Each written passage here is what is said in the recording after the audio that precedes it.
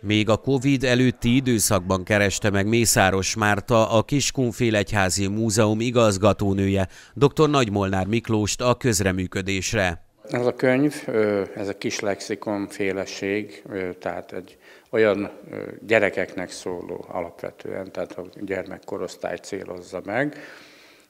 Még a Covid előtt találkoztunk Lezsák Sándorral, az, az országgyűlés alelnökével, aki a Kiskun Múzeumot és a Nagykun Múzeumot kereste meg, hogy ő neki, mint a népfőiskola, a Lakitelki Népfőiskola vezetőjének, illetve mentorának, volna egy olyan ötlete, javaslata, amiben közreműködésünket kéri.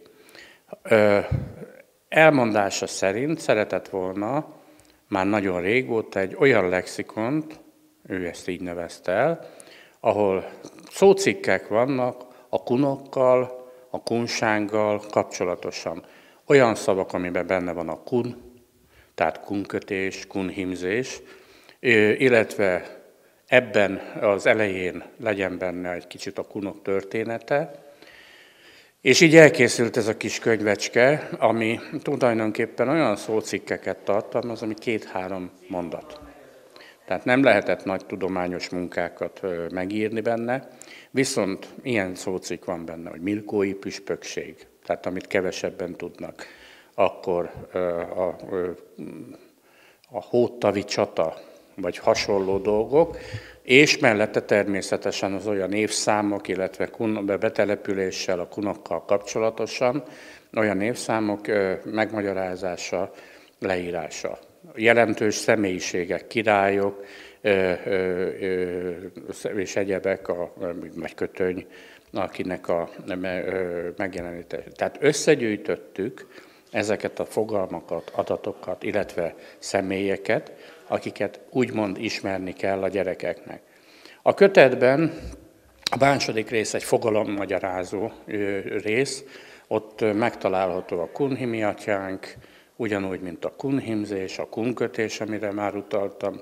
És az egész kötet egyébként az egész kunságot öleli föl, tehát a kis és nagy kunságban megtalálható szavakat, illetve fogalmakat, és a harmadik rész pedig egy települési bemutató.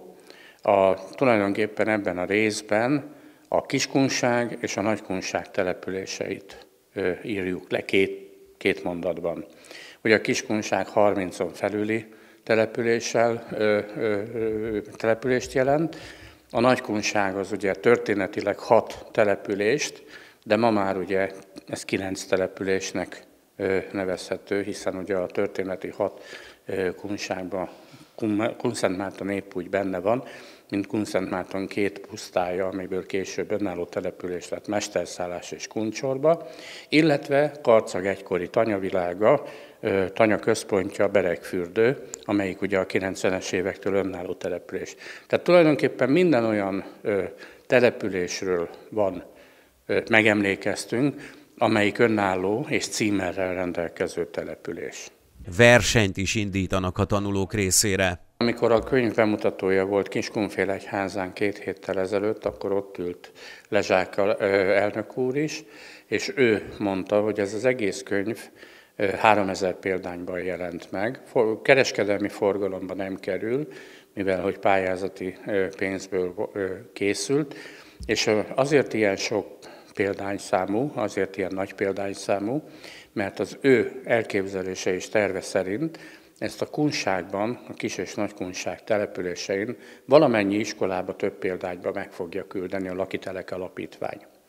És ezt a pá- ezzel kapcsolatosan az iskolásoknak pályázatot szeretne kiírni, illetve írnak ki a meghirdető szervek, tehát ugye a két KUM múzeum, a Kecskeméti Múzeum és a Lakiteleki Alapítvány a kiírók, és ennek a célja az, hogy ezt a könyvet feldolgozzák, megismerjék az emberek, hiszen egy könyv, hogyha nem forgatja senki, akkor csak írott malaszt.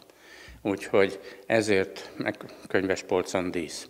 És hát ugye nem, nem szeretnénk, hogy ez, ez, ez, ez ilyen legyen, és szeretnénk, hogy akkor megismerjék, és ugye ennek a legjobb útja, módja az, hogy gyerekekkel, és pályázatot ennek megfelelően írják ki.